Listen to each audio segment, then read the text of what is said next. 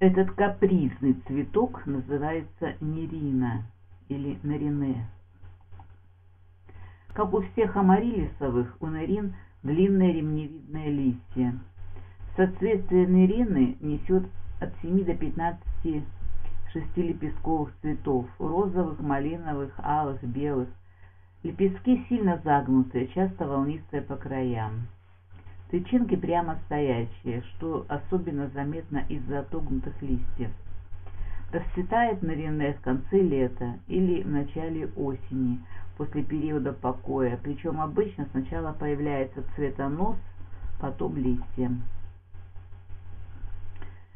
Нерина считается довольно капризным растением. Проблема не в том, что Нерине болеет или пропадает и не размножается в домашних условиях.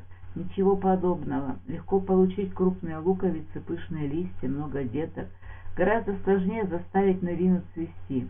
Для этого нужно обеспечить сухое и очень прохладное содержание в зимние месяцы, а это трудно достижимо в условиях обычной квартиры.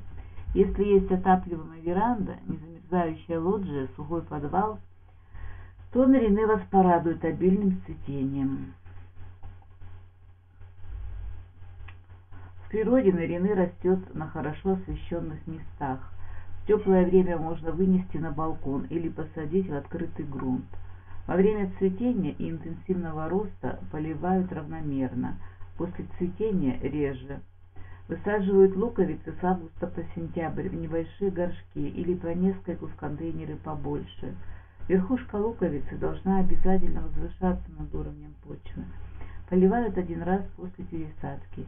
Потом поливают только после появления цветоноса или листьев. Размножаются семенами и дочерними луковицами. Растение страдает от мучнистых червецов, корневых луковичных клещей, могут повреждать щитовки.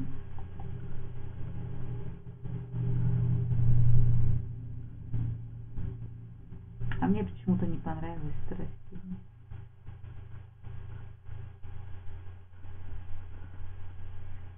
И выглядит не очень еще и капризная. Хотя на вкус и цвет образца-то нет. Всего доброго.